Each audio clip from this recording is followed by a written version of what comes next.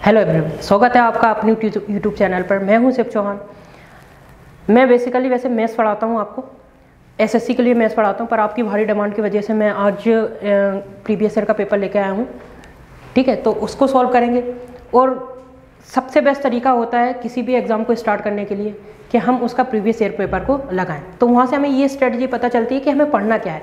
कैस question को solve करना है। तो आज हम सिर्फ़ प्रीवियस पेपर नहीं लगाएँगे, उसको मोटिव भी देखेंगे किस तरीके से सॉल्व करना है और एक एक से क्वेश्चन को सॉल्व करेंगे, पूरा डेफिनेट तरीके से सॉल्व कराऊँगा मैं आपको। वैसे आपको तो ऐसे आंसर तो कहीं भी देखने को मिल सकता है, आप प्रीवियस ईयर का पेपर कहीं भी देखोगे आंसर तो आपको सभी जगह मिल सकते हैं, लेकिन आपको बेस्ट स्ट्रेटजी बताऊँगा कि किस तरीके से एग्ज़ाम में सॉल्व करना रहता है और कैसे स्टार्ट करना है, ठीक है? तो हम आज स्टार्ट करना है, एक प्रीवियस ईयर का पेपर लेके आया हूँ मैं। ठीक है, व्यापम के लिए है स्टार्ट करते हैं। ये क्वेश्चन है। प्रीवियस प्रीवियस ईयर का ये पेपर है। बेस्ट तरीका देखेंगे कि कैसे स्टार्ट करना है। ठीक है? क्वेश्चन को पढ़ेंगे सबसे पहले। क्वेश्चन को पढ़ते हैं। क्वेश्चन में क्या दिया है? हिंदी में देखिए पहले। दीपक सीमेंट 60 किलोग्राम 85 किलोग्राम के बैग खरीदता है। ठीक है? 60 किलोग्राम के बैग खरीदता है। उसने दो बैग खरीदे। एक 60 के का खरीदा। दूसरा खरीदा 85 के का। देखिए मैं फिर से बोल रहा हूँ। किसी भी एग्ज़ाम के लिए आपको तैयारी करनी है तो उसका बेस्ट स्ट्रेटजी होती है, उसका प्रीवियस ईयर का पेपर लगाओ। क्योंकि वहाँ से हमें ये पता चलता है कि किस टाइप के क्वेश्चन आएँगे और हमें स्टडी जो करनी है, वो किस लेवल की स्टडी करनी है। ठीक है? तो यहाँ से प्रीवियस ईयर से हम देखेंगे कि किस लेवल का क्वेश्चन आएँगे, फिर हम मैथ्स में वो भी पढ़ेंगे। तो यहाँ पे उसने दो बैग खरीदे, एक साठ किलो का खरीदा, दूसरा खरीदा एट्टी फाइव किलो का। ठीक है?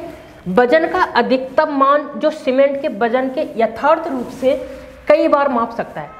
मतलब हमें एक ऐसा नंबर बताना है कि जब हम इन दोनों को देखा जाए तो दोनों को माप सकें, ठीक है? तो दोनों को माप सके मतलब एक हमें कॉमन नंबर देखना है। इन दोनों के बीच में एक कॉमन नंबर देखना है। कॉमन नंबर का अगर आप बोलोगे तो इसका मतलब हमसे ये पूछ रहा है कि इन दोनों के बीच में एच सी एफ़ क्या है? H C F highest common factor ठीक है? तो इन दोनों के बीच में महत्तम समावर्तक क्या होगा? तो 60 का और 85 का अगर आप एस देखोगे तो आप बोलोगे 5 के होगा। क्योंकि 5 इससे भी डिवाइड होता है और 5 से आप 85 को भी इजीली डिवाइड कर सकते हो। तो आपका जो आंसर बनेगा, वो बनेगा फ़र्स्ट 5 के जी ट्वेल्व के क्यों नहीं होगा? क्योंकि 12 से 60 तो डिवाइड होता है, पर 12 से 85 को आप नहीं माप सकते। ठीक है? 20 के से को भी आप 85 से नहीं माप सकते क्योंकि ये डिवाइड नहीं होता है। 17 85 से तो डिवाइड होता है, लेकिन 17 को आप 60 से डिवाइड नहीं कर सकते। तो अब ये भी नहीं होगा। तो आपके ये वाले ऑप्शन नहीं होंगे। थर्ड वाला फ़र्स्ट वाला आपका आंसर हो जाएगा। ठीक है? नेक्स्ट क्वेश्चन देखते हैं। आपको देखो, पहले तो ऐसे क्वेश्चन को पढ़ना है, उसके बाद आपको इस तरीके से सॉल्यूशन देखा नेक्स्ट क्वेश्चन सॉल्व करते हैं। नेक्स्ट क्वेश्चन देखिए क्वेश्चन क्या है? तीन क्रमिक संख्याओं का योग 60 है। तीन कंजिक्यूटिव नंबर्स का सम 66 है। ठीक है? इन तीनों संख्याओं में से सबसे छोटी संख्या ज्ञात करें। Find the least number of three numbers बोल रहा है कि सबसे छोटी संख्या क्या होगी? तीन आप कंजिक्यूटिव क्रमिक संख्या क्या होती है? क्रमिक संख्या होती है कंजिक्यूटिव मतलब वन के क्रमिक संख्या क्या होगी? वन टू थ्री इस टाइप की। क्रमिक संख्या मतलब लगातार संख्या है। ठीक है? कंजिक्यूटिव नंबर्स तो देखो, पहले तो मैं आपको इसका क्वेश्चन का बताऊँगा तरीका कि लंबे तरी, लंबे मेथड से कैसे करते हैं। फिर मैं आपको शॉर्ट भी बताऊँगा। जैसे इसको सॉल्व करने का एक लंबा तरीका ये होता है कि आपने माना कि हमारी जो संख्या है वो है एक्स तो अब इसकी क्रमिक संख्या क्या होंगी? क्रमिक संख्या यानी कि लगातार तो एक हमारी होगी एक्स प्लस वन इसके बाद वाली, और एक होगी हमारी एक्स प्लस टू ये हमारी तीन क्रमिक संख्या हो गई। अब बोल रहा है कि इन सभी का सम बोला ना, तीन क्रमिक संख्याओं का योग तो तीनों का योग, अगर आप तीनों को जोड़ोगे तो क्या आएगा? X x plus one X plus two और इन सभी का सम आपको दे रहा है 66 ठीक है? अगर आप जोड़ोगे तो x x और x, ये कितना हो गया? 3x वन यहाँ से टू यहाँ से, इनको जोड़ेंगे तो आएगा three equal to sixty six तो थ्री एक्स का मान हो जाएगा सिक्सटी थ्री ये थ्री इधर माइनस में चला जाएगा तो x का मान हो जाएगा ट्वेंटी वन x का मान आ जाएगा ट्वेंटी वन और आपसे पूछ रहा था कि सबसे छोटी संख्या क्या होगी तो सबसे छोटी संख्या आपकी क्या होगी? X का मान ट्वेंटी वन है तो x होगा आपका ट्वेंटी वन ये होगा आपका ट्वेंटी टू और ये होगा आपका ट्वेंटी थ्री तो सबसे छोटी संख्या पूछी तो सबसे छोटी संख्या होगी ट्वेंटी वन अगर आपको यही पूछ लेता, अगर सबसे बड़ी संख्या क्या होगी तो आपका आंसर हो जाता ट्वेंटी थ्री ठीक है? तो इस वाले का तो आंसर होगा आपका ट्वेंटी वन ये थर्ड वाला ऑप्शन का आंसर हो जाएगा। अब देखिए, और भी तरीका हो सकता था इसका सिंपल वे में कि आपको इतना सब लिखने की भी ज़रूरत नहीं पड़ती। आपको सबसे पहले तो यहाँ देखना था कि सभी का सम कितना है? 66 है। उसके बाद हमें सबसे छोटी संख्या पूछिए। सबसे छोटी संख्या, ये भी पढ़ना पड़ेगा आपको। अगर आप दूसरे वे में देखोगे जो शॉर्ट हो सकता है। तो आप देखते कि पहला ऑप्शन अगर मैं देखूँ, तेईस। पहला ऑप्शन देखूँ, अगर मैं तेईस है तो तेईस के बाद वाली संख्या होगी चौबीस, उसके बाद होगी पच्चीस। अगर आप तेईस को ही अगर तीन बार मानते हैं तो 69 हो जाता है। यानी कि तेईस तो नहीं होता, क्योंकि तेईस आपकी बड़ी संख्या हो जाती है। फिर आप देखते 25 25 भी नहीं होता, क्योंकि 25 को भी अगर आप तीन बार 25 को ही जोड़ोगे तो पिचहत्तर हो जाता है। तो लेकिन आपका सम तो सिक्सटी सिक्स ही। है अब आप पकड़ गएँगे इक्कीस। इक्कीस को जोड़ोगे तो क्या होगा? इक्कीस बाईस और ये तेईस। क्योंकि आपको क्रमिक संख्या है ना। कंटिन्यूस संख्या देखनी थी तो आप ऑप्शन से भी सॉल्व कर सकते हो इजीली इक्कीस इक्कीस, बाईस, तेईस तीनों को जोड़ोगे तो आपका ये सिक्सटी सिक्स बनता है। तो इसमें सबसे छोटी संख्या आपकी इक्कीस थी तो ये वाला आंसर हो जाता पूरा तरीका ये है इसको सॉल्व करने का, और ईजी वे में हो सकता है तो आप ऑप्शन से भी देख सकते थे सीधा आंसर ठीक है नेक्स्ट क्वेश्चन की तरफ़ मूव करते हैं। नेक्स्ट क्वेश्चन ये बहुत अच्छा क्वेश्चन है। इसको सॉल्व कीजिए। ठीक है? सिर्फ़ आप इसमें लैंग्वेज दे दी। आप देखोगे तो क्वेश्चन तो बहुत ही ईजी है। बस सिर्फ़ लैंग्वेज बहुत बड़ी ज़्यादा दे दी तो आपको थोड़ा सा कन्फ्यूज़ कर सकता है। कैसे? हिंदी में पढ़ते हैं। हरप्रीत का सूट के लॉक हो गया। ठीक है? हरप्रीत, एक कोई लड़का या लड़की का नाम हो, दोनों का नाम हो सकता है हरप्रीत। इसको लॉक हो गया। उसमें चार अंक का पासवर्ड है। चार अंक का पासवर्ड है। एक है फाइव सेवन फोर और एक यहाँ पे अंक ना दे के उसने पी दे दिया। ठीक है? चार अंकों का पासवर्ड है। ये देखिए। हरप्रीत को यक्षित रूप से याद है। उसे याद है, ठीक रूप से याद है कि वह संख्या तीन से विभाजित है। मतलब ये जो हमारी संख्या है पूरी, वो किससे विभाजित है? तीन से विभाजित है। तो सही पासवर्ड प्राप्त करने के लिए कितने परीक्षण देने की आवश्यकता? मतलब अगर उसको सही पासवर्ड करना है तो इस पी के स्थान पे क्या क्या आ सकता है? ठीक है? तो ये पूछा हमसे। अब देखिए, सबसे पहले यहाँ पे एक चीज़ की हमें ज़रूरत पड़ रही। वो क्या? यदा रूप से तीन से विभाजित है। यानी कि अब हमें यह पता होना चाहिए कि तीन से विभाजित संख्या कौन सी होती है। तो हम तीन से विभाजित संख्या कैसे पता करते हैं? तो मैंने बताया आपको कि तीन से विभाजित, अगर आप यहाँ चेक करोगे तो ट्वेल्व ट्वेल्व एक तीन से विभाजित है, तीन से पूर्ण रूप से विभाजित हो जाती है, क्योंकि आप बारह को तीन से भाग करोगे तो कितना आ जाता है आपका चार ठीक है, अगर आप देखोगे पंद्रह पंद्रह को तीन से विभाग करेंगे तो आ जाता है चार। और बड़ी संख्या ले लो, एक सौ आठ ले लो। 108 को तीन से डिवाइड करोगे तो आ जाता है आपका 36 ठीक है, अब ये तीन से विभाजित संख्या है। तो तीन से विभाजित संख्या का क्या रूल होता है? रूल ये होता है कि अगर आप इनके सम को जोड़ोगे, बारह के सम बारह को जोड़ोगे, बारह के नंबर को जोड़ोगे तो कितना आता है? टू और एक बार थ्री तो इनको जोड़ने पर जो संख्या मिलती है आपको, वो तीन से विभाजित होनी चाहिए। अगर वो ऐसा है तो आपकी संख्या भी तीन से विभाजित होगी। जैसे, कैसे?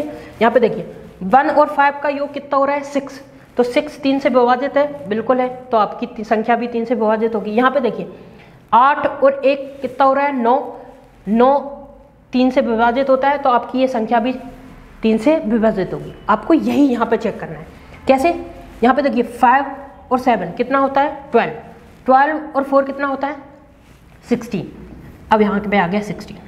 अब आपका बच गया पी तो पी के प्लेस पे आप क्या क्या रखोगे? कि आपका थ्री से डिवाइडेड हो सकता है। जैसे पी के प्लेस पे अगर मैं रखता हूँ टू पी के प्लेस पे रखता हूँ अगर टू अगर वन से स्टार्ट करें, क्योंकि पी के प्लेस पे अगर वन रखोगे तो सोलह और एक सत्रह हो जाता है। तो सत्रह तीन के पाड़े में नहीं आता तो आपका सत्रह, ये वन तो नहीं आएगा पी के प्लेस पे। अब देखता हूँ टू अगर मैं टू रखता हूँ तो सोलह और दो हो जाता है अठारह। अठारह हो जाएगा तो आपका तीन से विभाजित हो जाएगा। क्यों? क्योंकि अठारह तीन से विभाजित होता है तो फिर ये आपकी ये संख्या भी क्या हो जाएगी? तीन से विभाजित हो जाएगी। ठीक है? अगर दो की जगह पे आप देखोगे, फिर रखते हैं अगर मैं पाँच। तीन के अल्टरनेट में चलना है। अगर आप थ्री रखोगे, सोलह की जगह अगर तीन रखोगे, ये पी की जगह तीन रखोगे तो सोलह और तीन कितना होता है? उन्नीस। तीन से विभाजित नहीं है। अगर सोलह और यहाँ पे पी के प्लेस पे अगर रखते हो पाँच तो सोलह और पाँच कितना होता है? इक्कीस। इक्कीस बिल्कुल तीन से डिवाइडेड है। तीन से विभाजित है तो आपका पी के प्लेस पे या तो दो आएगा या फिर पाँच आएगा, और आगे देखते हैं। अगर आप पी के प्लेस पे रखोगे आठ आठ रखोगे तो सोलह और आठ होता है कितना? चौबीस। चौबीस भी आपका तीन से विभाजित है तो आपकी ये संख्या भी तीन से विभाजित होगी। तो आप देख पा रहे हो पी के प्लेस पे क्या रख सकते हो आप? अब देखिए, आठ और प्लस तीन, ग्यारह नहीं रख सकते। ग्यारह क्यों नहीं रख सकते? क्योंकि पी एक ही नंबर है। दो नंबर नहीं आएँगे यहाँ पे। सिर्फ़ एक ही डिजिट आएगा। ठीक है? तो या तो आप रख सकते हो टू या तो रख सकते हो आप फाइव या तो रख सकते हो ए तो कितने बार उसको ट्रायल करना पड़ेगा? तीन बार, क्योंकि या तो दो आएगा, या पाँच आएगा, या आठ आएगा। इस पी के प्लेस पे क्या क्या आ सकता है? या तो टू फाइव एट उसको तीन ट्रायल करने होंगे। सही पासवर्ड करने के लिए कितने परीक्षण करने होंगे? उसे तीन परीक्षण करने पड़ेंगे। तो तीन आपका आंसर है फोर्थ ऑप्शन थ्री परीक्षण करने पड़ेंगे। या तो दो आएगा पी के प्लेस पे, या पाँच आएगा, या आठ होगा। तीन बार अगर वो कोशिश करेगी तो उसका आंसर आ जाएगा। मतलब उसका पासवर्ड का जो लॉक है, वो खुल जाएगा। ठीक है? नेक्स्ट क्वेश्चन करें। सबसे इजी था इजी था। देखो कैसे सॉल्व कैसे किया मैंने, फिर से बता देता हूँ। जैसे ये नंबर लिखा हुआ था फाइव सेवन फोर पी ठीक है? अब वो बोल रहा है कि ये संख्या अगर तीन से विभाजित है तो तीन से विभाजित है तो इसका मतलब इसके डिजिट का जो सम है, वो भी तीन से विभाजित हो रहा होगा। ठीक है? तो मैंने इनका डिजिट का सम जोड़ा तो पाँच और सात और चार को जोड़ा तो कितना आ रहा था? सोलह। प्लस पी की जगह पे मैंने पी लिख दिया। अब सोलह में क्या जोड़ूं कि तीन से विभाजित हो सकता है? तो सोलह में पहले दो जोड़ा तो अठारह आ रहा था, सोलह में पाँच जोड़ा तो इक्कीस आ रहा था, सोलह में आठ जोड़ा तो चौबीस आ रहा था। बस यही तीन पॉसिबिलिटी हो सकती है, और पी के प्लेस पर कुछ रखोगे तो वो तीन से विभाजित नहीं होगा। नेक्स्ट क्वेश्चन की तरफ़ मूव करेंगे। अब देखिए, इस वाले क्वेश्चन की बात करता हूँ। ठीक है? ये वन बाई थ्री लिखा हुआ है, ऊपर लिखा हुआ है। मतलब ये ऐसे है, इस टाइप से। थ्री फोर थ्री ये क्यूब रूट है। समझे? इस टाइप से लिखा हुआ है ये। अब यहाँ पे आपसे पूछ रहा है which of the following is a rational number ठीक है? अब आपको बताना है इसमें कि रेशनल नंबर क्या है। तो सबसे पहले आपको ये पता होना चाहिए कि रेशनल नंबर होते क्या है। तो रेशनल नंबर वो होते हैं, अगर मैं हिंदी में बात करूँ तो निम्नलिखित में से कौन सी संख्या, एक परमेय संख्या है। परमेय संख्या क्या होती है? परमेय संख्या वो होती है जिनको आप P अपॉन क्यू के फॉर्म में लिख सको। P अपॉन क्यू के फॉर्म में लिख सको। वो आपकी परमेय संख्या होती है। P अपॉन क्यू का मतलब क्या होता है? P अपॉन क्यू का मतलब होता है कि इस टाइप की संख्या, जैसे थ्री बाई टू एक परमेय संख्या है। ठीक है? यहाँ पे देखो पी आ रहा है, ये क्यू आ रहा है। दोनों के अपन में लिख सको, जैसे वन बाई टू जैसे वन वन भी आपकी परमे संख्या है। कैसे? वन के अपन में वन लिख सकते हो ना आप? लिख सकते सेवन सेवन के अपन में वन आएगा। ये भी हो सकता है। अकेला सेवन भी आपकी परमे संख्या है, क्योंकि सेवन हर किसी के भी अपन में वन लिख सकते हो ना आप। ठीक है तो ये आपकी परमे संख्या होती है। परमे संख्या क्या होती है? जो पी अपॉन क्यू के फॉर्म में होती है, उनको आप परमे संख्या बोलते हैं। अब आपको यहाँ से चेक करना है कि इसमें से परमे संख्या कौन सी तो आप देखोगे यहाँ टू फोर थ्री यहाँ पे लगा है क्यूब रूट ठीक है? यहाँ पे ये फाइव फोर थ्री है। ये क्यूब रूट है। यहाँ पे फोर फोर थ्री है। फोर फोर थ्री ये यहाँ पे क्यूब रूट है।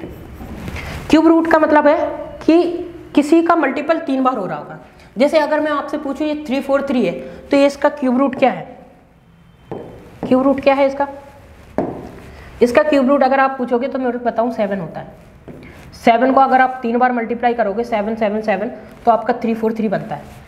तो इसका होगा सेवन इसका आप एग्जैक्ट नहीं बता सकते। टू फोर थ्री का कोई सा भी क्यूब रूट नहीं होता है। मतलब कोई सा अगर टू वन सिक्स होता है मतलब दो सौ सोलह होता है छः का क्यूब तो यहाँ से अगर 216 होता तो छः निकलता आपका, पर ये 243 किसी एग्जैक्ट नहीं होता किसी का, यहाँ 543 भी किसी का नहीं होता है, यहाँ पे भी किसी का नहीं होता है क्यूब रूट एग्जैक्ट नहीं आएगा, कोई पॉइंट वॉइंट में आएगा तो पॉइंट में आएगा तो आप इस तरीके से नहीं लग सकते उसको तो ये आपके रेशनल नंबर नहीं होंगे. लेकिन अगर आप सेवन को देखोगे तो सेवन अपन वन आप आराम से लिख सकते हो तो आपका जो रेशनल नंबर होगा, वो कौन सा होगा? टू क्यूब रूट ऑफ़ तो आपका ये आपकी एक परमेय संख्या होगी. ये परमेय संख्या क्यों नहीं होगी? क्योंकि ये क्यूब रूट से बाहर ही नहीं आ पाएगी. क्यूब रूट से बाहर नहीं आ पाएगी तो आप पी अपन क्यू के फॉर्म को लिखोगे कैसे? समझ गए? ये क्यूब रूट से बाहर आ रहा है क्योंकि ये सेवन का क्यूब होता है थ्री फोर थ्री सेवन का पावर थ्री होती है थ्री फोर थ्री ठीक है? तो ये इससे बाहर आ जाएगा क्यूब से सेवन बाई वन हो जाएगा और आप इजिली इसको आंसर कर सकते हो। नेक्स्ट क्वेश्चन करेंगे। नेक्स्ट क्वेश्चन ये।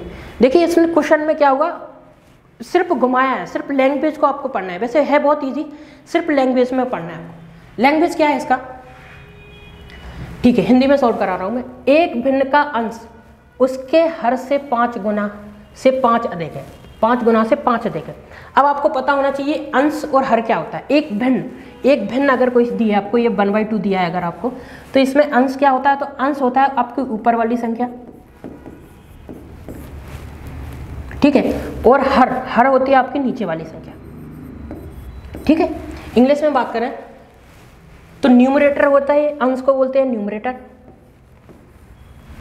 ठीक है, और नीचे वाले संख्या को बोलते हैं डिनोमिनेटर इतना आपको पता होगा, एक भिन्न में क्या न्यूमरेटर होता है, क्या डिनोमिनेटर होता है, ये समझिए आप।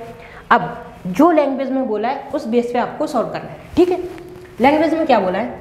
एक भिन्न का अंश, उसके हर से। अब यहाँ पे भिन्न मान लेते हैं अपन कुछ भी। उस का भिन्न मान लेते हैं लेट्स या आप भिन्न मान रहे हैं। तो उसके, अब उसने बोला कि उसके हर से हर से तो आप हर की जगह लिख लो एक्स ये नीचे वाली हर होता है, मैंने अभी बताया आपको। नीचे वाला जो होता है, वो हर होता है। हर अगर आपने माना एक्स है तो अंश क्या होगा? उसके हर से पाँच गुना से पाँच अधिक। इसके पाँच गुना से, इसका पाँच गुना कितना होगा? फाइव एक्स से पाँच अधिक आपका क्या है? अंश है। देखिए, एक भिन्न का अंश, ये देखिए, अंश, उसके हर से पाँच गुना से पाँच अधिक है। तो एक भिन्न का हर से पाँच गुना पाँच गुना कितना होगा? फाइव एक्स से पाँच अधिक तो कितना होगा? फाइव ये आपकी बन गई भिन्न। जब भिन्न के अंश से पाँच घटाया जाता है, ये आपकी भिन्न हो गई। अब उसने बोला कि जब आपके भिन्न से पाँच घटाया जाता है, उसके हर में जोड़ दिया जाता है। यानी कि आपके अंश से, अंश आपका ये है, अंश से पाँच को घटाएँगे तो कितना आएगा? फाइव एक्स और उसके हर में जोड़ दिया जाता है। हर में कितना आपका एक्स उसमें अगर जोड़ दिया जाए तो क्या बन जाता है? जोड़ दिया जाता है तो भिन्न का मान चार के बराबर हो जाता है। तो आपकी ये जो भिन्न है, वो किसके बराबर हो जाएगी? चार। सिंपल और बहुत ही अच्छा। कैसे किया मैंने सॉल्व? सॉल्व कुछ नहीं किया, मैंने सिर्फ़ आपको पहले तो ये बताया कि अंश और हर क्या होता है। तो आप एक भिन्न में वन बाई टू लिखा हुआ है तो उसमें अंश होती है, ऊपर वाली संख्या, हर होती है, नीचे वाली संख्या। फिर आपको इस लैंग्वेज के थ्रू मैंने ये क्वेश्चन बनाई। उसके बाद फिर मैंने जैसा क्वेश्चन में लिखा था। क्वेश्चन में लिखा था जब अंश से पाँच घटाया जाता है तो मैंने अंश से पाँच को माइनस कर दिया। ये देखो फाइव एक्स प्लस फाइव लिखा था इसमें से पाँच को घटा दिया तो ये पाँच गायब हो गया बचा फाइव एक्स उसके बाद उसको हर में जोड़ दिया जाता है और उसने हर में जोड़ दिया। मैंने ए, हर अपना एक्स अकेला था उसमें मैंने पाँच को जोड़ दिया। जोड़ दिया तो भिन्न चार के बराबर होता है तो चार के बराबर भिन्न होगी अब इसको सॉल्व करेंगे कैसे सॉल्व करेंगे? इसका मल्टीप्लिकेशन इसमें चला जाएगा। तो फाइव एक्स बराबर क्या आएगा आपका? Four x plus twenty. ठीक है? और इसके बाद अगर आप x निकालोगे तो x का मान आएगा 4x इधर आएगा तो x x का मान आएगा 20 ठीक है? X का मान कितना आ गया? 20 अब देखिए, x का मान 20 आ गया। अब आपसे पूछ रहा है तो वास्तविक भिन्न क्या कीजिए? वास्तविक भिन्न क्या थी? हमारी शुरुआत की भिन्न क्या थी? ये थी हमारी वास्तविक भिन्न। इसमें आप क्या करोगे? X का मान रख दोगे। तो x का मान अगर मैं यहाँ पुट करूँगा तो 5 x की जगह रखेंगे 20 प्लस फाइव। डिवाइड करेंगे x के जगह रखेंगे आप 20 ठीक है, इसको सॉल्व करेंगे। पाँच का मल्टीप्लाई ट्वेंटी में करेंगे तो आएगा हंड्रेड। हंड्रेड प्लस पाँच होगा तो कितना आएगा? One zero five. One zero five upon twenty. यहाँ से पाँच से काट सकते हो आप तो क्या बचेगा? इक्कीस बटा चार। ठीक है? इक्कीस बटा चार, ये आपका आंसर हो जाएगा। कौन सा ऑप्शन है आपका? इक्कीस बाई फोर, ये वाला आंसर। फोर्थ ऑप्शन हो। जाएगा ईजी था। बेस्ट तरीका था इसको सॉल्व करने का। बहुत ही सिंपल वे में बताया मैंने आपको। आगे बढ़ जाइए नेक्स्ट क्वेश्चन सॉल्व करेंगे।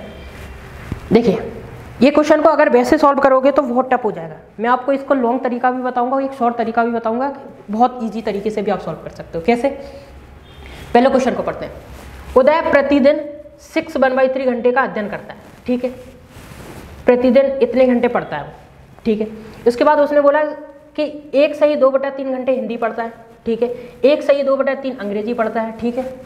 उसके बाद, यदि वह शेष समय को, यानी कि टोटल घंटे इतने हैं, उसमें से इतने घंटे उसने हिंदी पढ़ी, इतने घंटे अंग्रेज़ी पढ़ी, उसके बाद बचे समय में के बराबर भाग को वो गणित और विज्ञान में व्यय करता है। मतलब जो समय उसके पास बच जाएगा, उसमें वो इक्वल तरीके से, गणित को भी उतना ही टाइम देगा, उतना ही टाइम वो विज्ञान को देगा। तो वह गणित में कितना समय व्यय करता है? तो आपसे पूछ रहा है कि गणित में कितना समय व्यय करता है। तो पहले तो सबसे पहले आप देखते हैं कि पहले ये देखते हैं कि जो उदय है, वो टोटल कितने घंटे पड़ता है? तो अगर आप टोटल की बात करोगे टोटल घंटे कितना पड़ रहा है? सिक्स वन बाई थ्री अगर इसको फ्रैक्शन वे में लिखोगे तो कितना आएगा? नाइनटीन बाई थ्री सिक्स का मल्टीप्लाई थ्री में और यहाँ पर प्लस वन कर देंगे। तो इतना आ जाएगा। इसके बाद, अगर आप हिंदी में टाइम देखोगे तो हिंदी में वो कितना टाइम दे रहा है? हिंदी में टाइम देख रहा है वन टू बाई थ्री बिल्कुल। यानी कि अगर आप इसको फ्रैक्शन में लिखोगे तो कितना आएगा? फाइव बाई थ्री अगर मैं अंग्रेज़ी की बात करूँ तो अंग्रेज़ी, यानी कि इंग्लिश में वो कितना टाइम दे रहा है? इंग्लिश में देख रहा है वन वन बाई थ्री यानी कि फोर बाई थ्री इतना टाइम वो इंग्लिश में दे रहा है? ठीक है, अब हिंदी और इंग्लिश में टाइम दे दिया। अब हम देखते हैं कि उसके पास टाइम बचा कितना है। तो बचा कैसे निकालेंगे? हम देखेंगे कि हिंदी और इंग्लिश का टोटल टाइम कितना हो रहा है। हम इन दोनों को जोड़ देंगे। अगर आप हिंदी और इंग्लिश को जोड़ोगे हिंदी और इंग्लिश, यानी कि पाँच बटा तीन प्लस चार बटा तीन। जोड़ोगे तो नाइन बटा थ्री, यानी कि आएगा तीन। यानी कि उसके तीन घंटे तो खर्च हो गए। तीन घंटे किस किस को पढ़ने में खर्च हो गए? उसको हिंदी में और इंग्लिश पढ़ने में उसके तीन घंटे खर्च हो गए। टोटल घंटे वो इतने घंटे पढ़ रहा था। अब हम देखते हैं उसके पास टाइम कितना बच गया। तो टाइम जो बचा होगा, उसको उसने मैथ, उस टाइम में उसने गणित को पढ़ा होगा और विज्ञान को पढ़ा होगा। तो हम देखते हैं उसके पास टाइम कितना बच गया। ठीक है तो टोटल घंटे हमारे पास है नाइनटीन बाई थ्री तो रिमेनिंग टाइम यानी कि मैं यहाँ लिख रहा हूँ शेष समय। शेष समय उसके पास कितना बच गया? टोटल टाइम था उन्नीस बटा तीन, ये टोटल टाइम था आपका। उसमें से तीन घंटे उसके खर्च हो गए। तीन घंटे खर्च हो गए तो बचा कितना टाइम दस बटा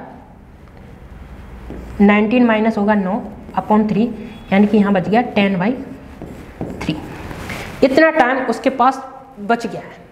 दस बटा तीन घंटे बच गए। अब इस घंटे में वो पढ़ रहा है गणित और विज्ञान दोनों। आपसे क्या पूछ रहा है? सिर्फ़ गणित का। ठीक है? अब आप देख पा रहे हो कि इसमें वो दोनों को पढ़ रहा है और दोनों को इक्वल टाइम दे रहा है। यानी कि आधा आ, इसका आधा दे रहा है वो गणित को इसका आधा दे रहा है विज्ञान को। आपको सिर्फ़ इसका आधा निकालना है। अगर आपसे पूछेगा टेन बाई थ्री का आधा क्या होता है तो आप यहाँ पे लिखिए टेन बाई थ्री का आपको आधा करना है। तो इसमें एक बटा दो का भाग कर दीजिए। एक बटा दो का जैसे ही भाग करोगे तो ये दो से कटेगा एक, दस तो कितना आएगा फाइव तो आपका बचेगा फाइव बाई थ्री इस फाइव बाई थ्री को आप इस वे में भी लिख सकते हैं। वन सही टू बाई थ्री तो आपका आंसर हो जाएगा वन सही टू बाई थ्री यानी कि थर्ड ऑप्शन आपका आंसर हो जाएगा। क्लियर है? फिर से बताता हूँ। टोटल कितने घंटे पढ़ रहा था वो? सिक्स वन बाई थ्री घंटे पढ़ रहा था। इतना टाइम दे रहा था वो हिंदी में, इतना टाइम दे रहा था वो इंग्लिश में। मैंने दोनों को लिखा टोटल टाइम ये रहा। हिंदी का टाइम लिखा मैंने, उसके बाद इंग्लिश का टाइम लिखा। फिर मैंने हिंदी और इंग्लिश का जोड़ दिया कि मैंने देखा कि वो टोटल घंटे हिंदी और इंग्लिश में कितना वेस्ट कर रहा है। तो हमें पता चला वो तीन घंटे वेस्ट कर रहा है। ठीक है? इसके बाद, अब उसके पास टाइम कितना बच गया? टाइम हमने निकाला कि ये जो टोटल टाइम था, उसमें से ये तीन घंटे उसने जो खर्च कर दिए हिंदी और इंग्लिश में, वो हटा दिया। तो आपके पास बचा है ये जो टाइम ये जो टाइम है, वो दोनों को दे रहा है। किसको? इसको गणित को और विज्ञान को। अब दोनों को इक्वल टाइम दे रहा है तो इसका आधा समय गणित के लिए होगा, इसका आधा समय साइंस के लिए होगा। तो मैंने इस, कुछ नहीं किया, इसका आधा निकाल दिया आपको। इसका आधा निकाला वन बाई टू कर दिया तो यहाँ से निकला आपका आंसर ठीक है? चलिए नेक्स्ट क्वेश्चन करेंगे आप आपको। Next question a rectangular park is Hindi में पढ़ते हैं, एक आयतर पार्क तेरह सही एक बटा तीन मीटर लंबा है, ठीक है? दस एक बटा पाँच मीटर चौड़ा है, ठीक है? इसकी परिधि बताइए। परिधि निकालना है आपको, ठीक है? पेरीमीटर निकालना है। अगर आपको पता है रेक्टेंगुलर रेक्टेंगुलर मतलब आयतकार। आयतकार की अगर बात करूँ तो इस टाइप का इसका फिगर होता है, ऐसा। ठीक है? ये होती है इसकी लेंथ और ये होती है इसकी ब्रेथ पेरीमीटर क्या होता है? एक परिधि क्या होती है? परिधि होती है किसी भी फिगर की बाउंड्री ये देखो, ये परिधि होती है, यहाँ से स्टार्ट करेंगे, ये पूरा कंप्लीट ये होगी आपकी परिधि तो आपको इसको ही बताना है। तो पर्दी का रेक्टेंगुलर का जो फॉर्मूला होता है, वो होता है परिधि जो निकालने का होता है। परिधि कैसे निकालते हो? तो इसका फॉर्मूला होता है टू ब्रैकेट में L plus B two bracket में L plus B L plus B कैसे? आपको इस पूरे फिगर को जोड़ना है तो एल यहाँ से यहाँ तक की डिस्टेंस एल है, यहाँ से यहाँ तक की डिस्टेंस एल है, ये बी है तो ये भी आपका क्या होगा? बी तो इन सबको जोड़ना है, यानी कि दो बार एल को जोड़ना है, दो बार बी को जोड़ना है तो आपका ये बनता है इसकी परिधि, ठीक है? अब परिधि आपको निकालनी तो पर्दी के निकालने के लिए क्या है? आपको एल भी दिया है एल आपको कितना दिया है? ये दिया है यहाँ पर तेरह सही एक बटा दो लंबा है तो कितना है? टू लंबाई की जगह मैंने लिख दिया, तेरह सही बने कटा तीन इसको अगर आप फ्रैक्शन से बे में लिखोगे तो कितना आएगा? फोर्टी बाई थ्री कैसे? तेरह का मल्टीप्लाई तीन में उनचालीस और एक, चालीस बटा तीन प्लस ब्रेथ ब्रेथ कितनी है? ये चौड़ाई दिया आपको। चौड़ाई दिया है दस, पचास, इक्यावन बटा पाँच। ये यहाँ पे इक्यावन बटा पाँच लिख दिया। ये चौड़ाई दी परिधि निकालना था। सिर्फ़ इस फॉर्मूले में रखना था दो, चालीस बटा तीन प्लस इक्यावन बटा पाँच। इनको जोड़ना है और आपका आंसर आ जाएगा। अब जोड़ेंगे कैसे? तो जोड़ने का तरीका बताता हूँ, ठीक है? इनको जोड़ना है तो एलसीएम आएगा। एलसीएम कितना आएगा? फिफ्टीन। इस फाइव का मल्टीप्लाई होगा इसमें तो कितना आएगा? Two hundred. इसके बाद मैं यहाँ सॉल्व कर रहा हूँ, ठीक है? Two hundred plus. इस थ्री का मल्टीप्लाई इसमें होगा तो कितना आएगा? One five three. और यहाँ पे दोनों को जोड़ेंगे तो कितना आएगा? पंद्रह। ये बनेगा। इसके बाद इन दोनों को जोड़ेंगे तो कितना आएगा? Three five three five three यहाँ जोड़ेंगे तो कितना आएगा? पंद्रह। कुछ गड़बड़ कर दिया क्या? ठीक है, अगर ये टू और बच गया ना अपना तो ये टू को यहाँ लिखो। और इसमें भी ये टू बच गया तो यहाँ लिखो। ठीक है? दोनों को जोड़ेंगे तो छः, दस सेवन अपॉन फिफ्टी ये टू बच गया था ना आपका, ये टू इस टू को यहाँ लिख दिया मैंने, और यहाँ पे ये टू से मल्टीप्लाई कर दिया। तो आप देखिए, इनको जोड़ेंगे तो क्या आएगा? पंद्रह चौको साठ भाग करेंगे। और यहाँ पे बचेगा दस, पंद्रह सत्तर एक सौ पाँच फोर्टीन पॉइंट ज़ीरो नाइन के समथिंग आएगा। Forty seven point zero nine. Forty seven point one, आपका ये पहला ऑप्शन हो जाएगा। ठीक है? ये आंसर हो जाएगा? Forty seven point zero nine है अप्रॉक्स में देखना था आपको। तो लगभग forty seven point one answer आपका हो जाएगा। क्योंकि ये फोर्टी एट है, ये तो नहीं होगा। ये फोर्टी सेवन इससे ज़्यादा है, ये फोर्टी सिक्स कम है। तो आपको लगभग forty seven point zero nine answer आ रहा था तो आप ये आंसर लगा सकते हो। ठीक है? आगे करते हैं एक क्वेश्चन और। Riya chooses a number next question करते हैं. रिया एक संख्या को चुनती है. रिया ने एक संख्या को चुना. उसमें से तीन बटा चार घटाती है. ठीक है?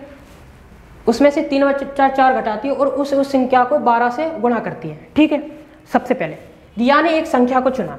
रिया की एक संख्या मान लो. रिया ने जो संख्या को चुना वो है एक्स ठीक है? उसके बाद उसने क्या किया? उसमें से तीन बटा चार को घटाती है. ये देखो, ये संख्या में से तीन बटा चार को घटाती है. देखिए, ये जो क्वेश्चन होते हैं नंबर सिस्टम के, इसमें जैसा बोला है आपको बस वैसा लिखना है, ठीक है? जैसा जैसा बोलते जाएँगे, हम वैसा वैसा लिखते जाएँगे और क्वेश्चन को सॉल्व करेंगे। जैसे पहले एक संख्या थी, संख्या मैंने लिख दी यहाँ पे, ये देखो, ये संख्या है। उसमें से बोला कि तीन बटा चार को घटाती है ठीक है, मैंने तीन बटा चार को घटा दिया। उसके बाद बोला, उस संख्या को बारह से गुणा कर दिया। अब ये जो संख्या आई है, उसमें उसने क्या किया? बारह का गुणा कर दिया, लिख दिया मैंने, बारह को गुणा कर दिया। अब अब क्या हुआ? प्राप्त परिणाम मूल संख्या का नौ बटे दो गुना है। अब देखो, ये जो परिणाम है, इसका जो परिणाम आएगा, इसका जो परिणाम होगा, वो मूल संख्या, वो मूल संख्या मैंने क्या मानी थी? X ये आपकी मूल संख्या थी। मूल संख्या का नौ बटा दो गुना है तो मूल संख्या का, मूल संख्या है आपकी x, उसका नौ बटा दो गुना आपका है। बस इक्वेशन बन गई। X का मान पूछ रहा है तो बोल रहा है, उस संख्या ज्ञात कीजिए। संख्या आपकी क्या है? X तो x का मान आपसे यहाँ से पूछ रहा है। सॉल्व करेंगे। सॉल्व कैसे करेंगे? ये यहाँ से देखिए आप ए मल्टीप्लिकेशन में ही है तो यहाँ से तीन का भाग भी कर सकते हो। यहाँ बचेगा चार। तीन का यहाँ भाग कर दोगे तो क्या बचेगा? थ्री पेन चेंज कर रहा हूँ मैं, जिससे आपको समझ में आए। ठीक है? इसके बाद ये टू का मल्टीप्लिकेशन यहाँ हो जाएगा तो बचे आठ हो जाएगा।